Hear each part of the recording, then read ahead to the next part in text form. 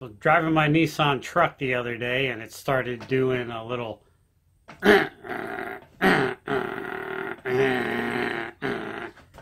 like it was running out of fuel. Eventually stalled. Wendy had to tow me home. Here's a video of it. Suspected it was a fuel issue, and being that the truck is 25 years old, discovered that it wasn't getting the fuel that it's supposed to, and so dropped the tank and quickly realized that uh, fuel pump was in order.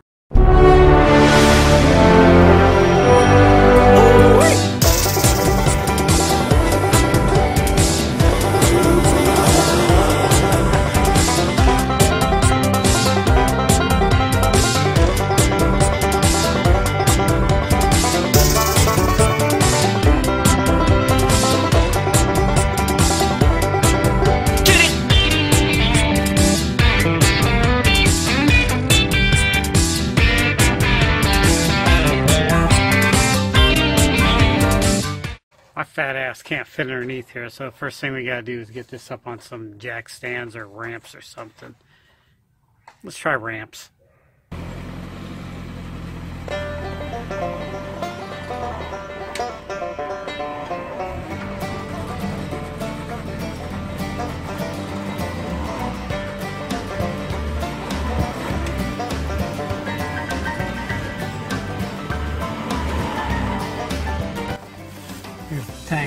These three nuts to come out.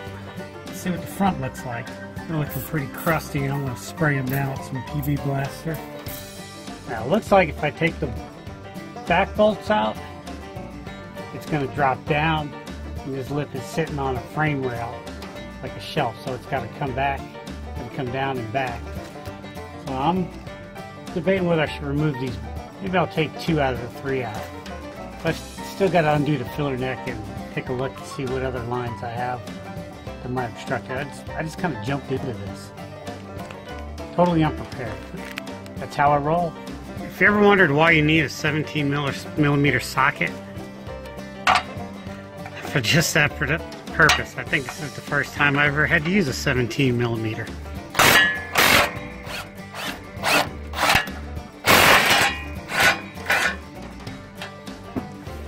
Once you get that guard off, looks like there's two more 17 millimeter sockets holding the tank.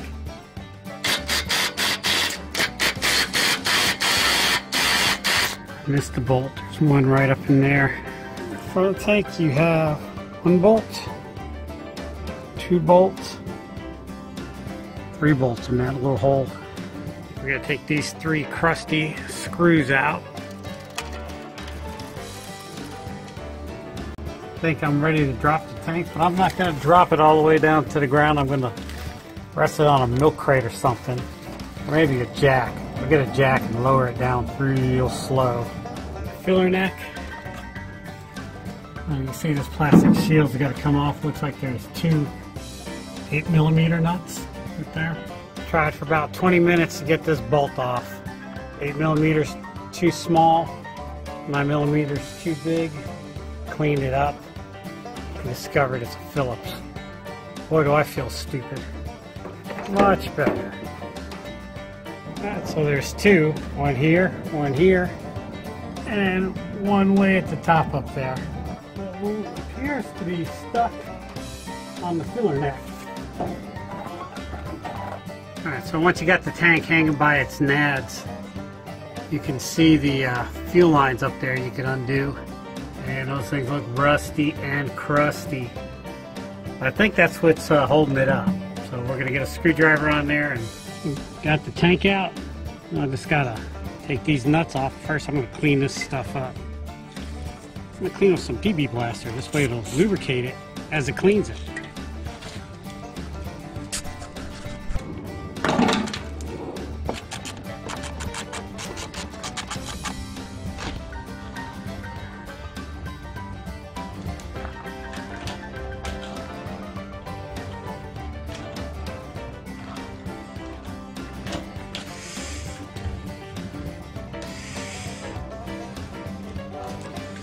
Yeah, everything in there is rusty, crusty. Seems to be a wire running to the bottom of the tank.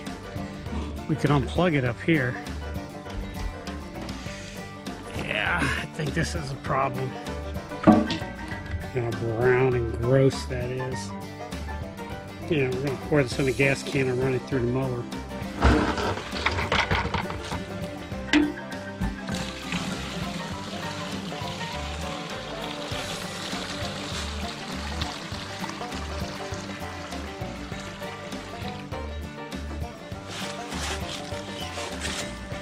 I got that big plastic tray unclipped from the bottom. There's just these little clips that it just snaps in.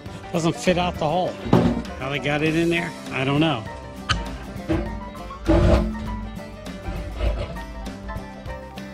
So what I'm able to do is take this wire brush and reach my arm down in here and just brush the all around the tank sucked all the crap out with Mr. Thirsty here. And got it looking pretty pretty spiffy. Got the new pump on the old sending unit, cleaned it up as best as I could. And now we're getting ready to pop it on in there. I tell you this pump was a direct fit?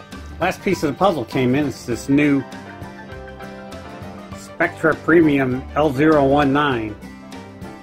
It was uh, $7, which is a lot of money for an O-ring and some screws.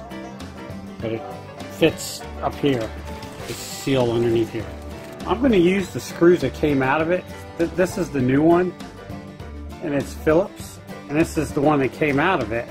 And you can't tell, but it's Phillips and it's hex head too.